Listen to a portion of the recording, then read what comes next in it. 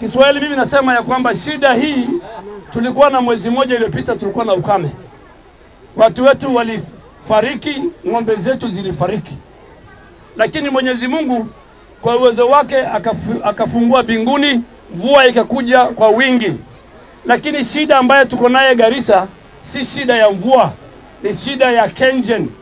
Wakiona zile damu zao za Kindaruma zote zikikuwa na maji wanawachilia, and we will take Kenjan head on as a leader of majority.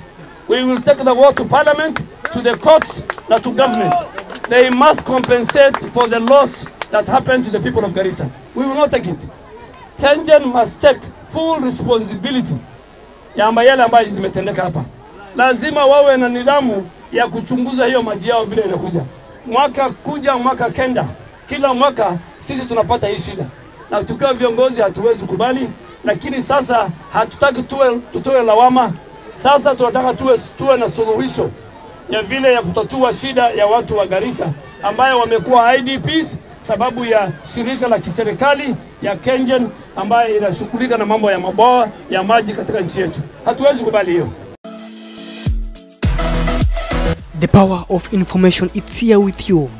Garissa Times Tube channel brings you updated news as it happens. Whatever you just need to like is just click the like button ah, then give us a subscription at the bell sign. Ah.